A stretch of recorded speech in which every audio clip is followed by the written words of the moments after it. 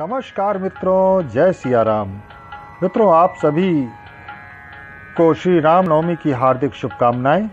प्रभु श्री राम आपके कष्टों को दूर करें, आपको सदमार्ग पर चलने की शक्ति प्रदान करें एवं सफलताएँ प्राप्त कराएँ। मित्रों, इस पावन अवसर पर मेरा मन भी है कि मैं भी अपने आराध्य के लिए कुछ शब्द कहूँ। मैं अपने बचपन से ही राम नाम शब्द सुनता आया हूँ, लेकिन इस नाम में कितनी प्रचंड शक्ति है, ये पिछले तीन वर्षों में ही जाना।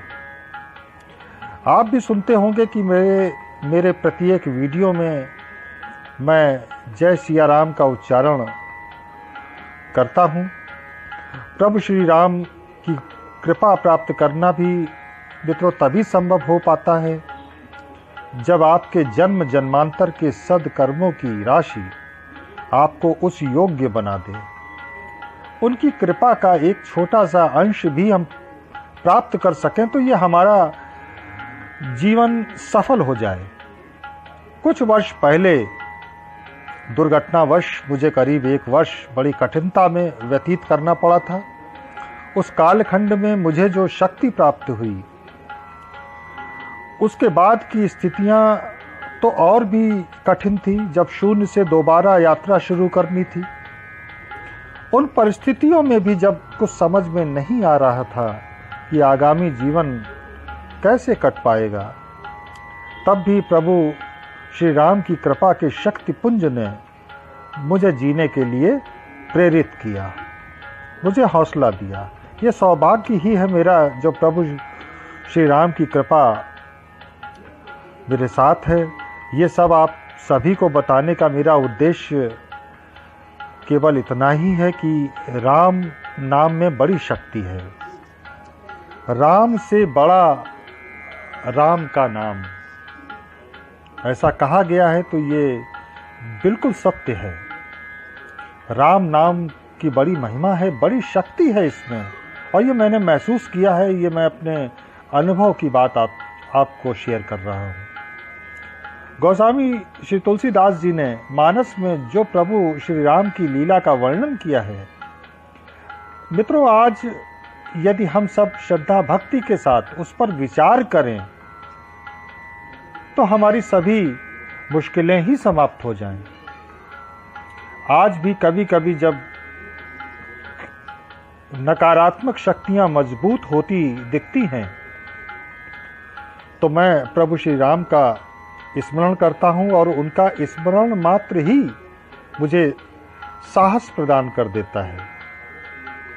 श्री राम का संपूर्ण जीवन मुझे प्रेरित करता आया है। जब जब समाज में रावण के रूप में बुरी शक्तियों का उदय होगा तो विश्वास रखें कि प्रभु श्री राम का भी अवतरण होगा। हम सभी में अनेकों क्षमताएँ हैं। लेकिन हम ये भूले बैठे हैं कि हम हैं तो आखिर प्रभु जी का ही एक अंश। हमारी वे क्षमताएँ तभी तो सक्रिय होंगी जब हम उस सर्वशक्तिमान श्री राम को श्रद्धा व विश्वास के साथ स्मरण करेंगे। मित्रों, ईश्वर तर्क का विषय नहीं है। ईश्वर विषय है विश्वास का। लेकिन हमारा अहंकार हमसे तर्क करवाता है। एक बार सरल होकर अहंकार रहित होकर प्रभु श्री राम के शरणागत होकर तो देखें।